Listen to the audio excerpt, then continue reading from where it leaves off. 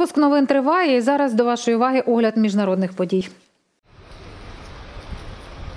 Комендантська година і порожні готелі в Індії посилюють антиковідні заходи на тлі поширення штаму Омікрон. У багатьох містах обмежено свободу пересування у вихідні на дорогах перевірки. Ми пропускаємо тих, хто їде до лікарні. Також дозволено їхати на весілля, але має бути запрошення.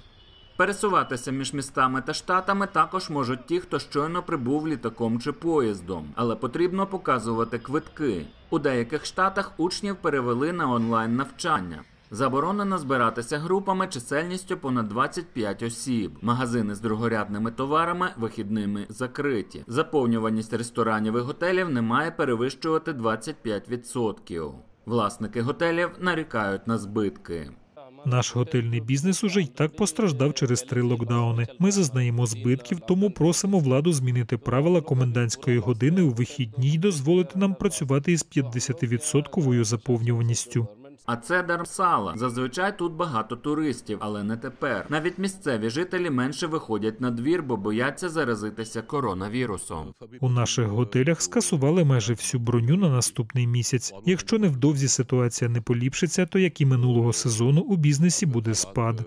В Індії чисельність нових хворих на ковід зростає з кінця грудня. Ось уже як кілька днів виявляють понад 250 тисяч заражених за добу, але смертей не побільшало. За весь час пандемії в країні виявили 37 мільйонів заражень, померло 480 тисяч осіб.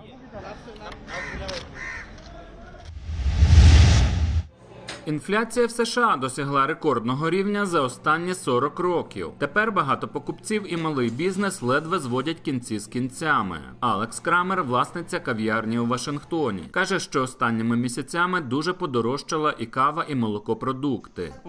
Можна помітити, коли в людини закінчуються вільні гроші. Хтось уже замовляє звичайну каву замість капучино, хтось розплачується монетами. І щоб було зручніше, ми продаємо каву по долару за чашку. А це продуктовий магазин неподалік. Його власниця зазначає, що зі зростанням цін місцеві товари стають дедалі недоступнішими.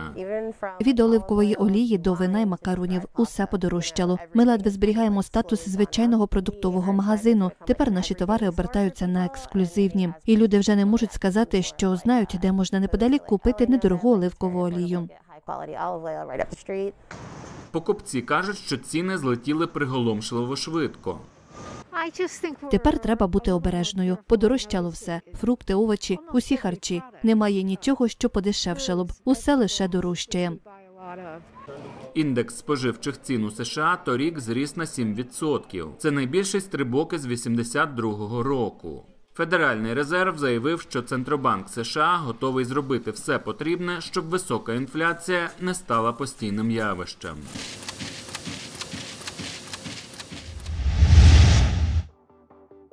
24 роки селекції та 5 мільйонів доларів. Результат цибуля без сліз. Так називають цей новий для Європи сорт сільськогосподарської рослини. Незабаром його почнуть продавати в британських супермаркетах.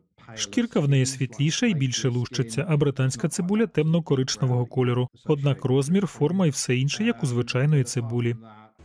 Щоб створити такий овоч, фахівці виводили гібриди негострих сортів цибулі, аж поки досягли мети. Вона майже не гостра, як порівняти зі звичайною цибулею. У ній значно менше природних сполук, які спричиняють сльози.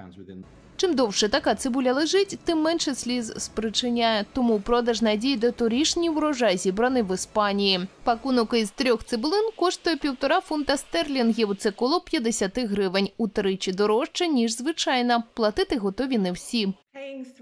Платити втричі більше лише для того, щоб не плакати. Для мене це зайве. Мій бюджет обмежений. Цибуля вважається дешевим продуктом. Якби мені треба було нарізати багато цибулі, то мабуть і купила б. Але в таких випадках я купую вже нарізану і заморожену цибулю.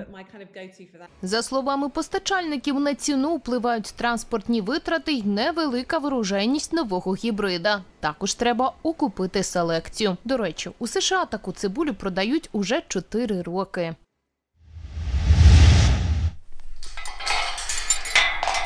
Стен Джонстон нетиповий австралійський пенсіонер. У 72 роки він став фермером. Це гарний спосіб життя, бо я можу й далі працювати і можу щось робити на цій фермі ще 10-15 років. 35 років тому Стен уже вів молочне господарство. Тоді в усій країні було майже 22 тисячі молокозаводів. Наразі їх менше як 5 тисяч. І щороку сотні й далі закриваються. Нещодавно до Стена долучився і його син Вейд. Каже, що йому подобається, бо можна більше часу проводити із сім'єю. Доводиться щодня старанно працювати. Проте я хочу мати таку роботу, щоб майже постійно бути з ріднею. Молочна галузь Австралії має багато проблем. Це і посуха, і зростання цін. Але останнім часом австралійці стали більше цінувати фермерські товари. Багато підприємств знову процвітають. Окремі виробники, окремі компанії справді отримують вигоду від цього і намагаються забезпечити продукцією австралійських споживачів, які дійсно хочуть, щоб австралійська молочна промисловість досягла успіху. А ця сім'я не просто хоче заробити, а вкладає душу у свою справу. Я просто зосереджений на своїй крихітній фермі в моєму маленькому світі і намагаюся зробити все максимально продуктивним, а також чистим та корисним.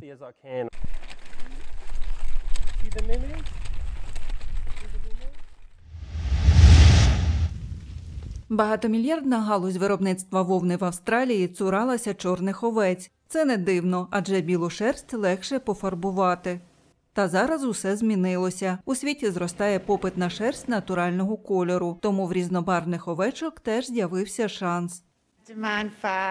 Попит набагато перевищує пропонування, і він дивовижний, особливо в північній Америці. Софі та її чоловік Том тримають овець на південному сході Австралії, мають 30 тисяч голів. Але жінка та дві її подруги знайшли собі хобі. Вони заснували окрему компанію і розводять овечок лише чорного кольору та його відтінків. Три мами, три хороші подруги, які мають ідею обробляти кольорову і білу шерсть. Спочатку ніхто не вірив, що ідея спрацює.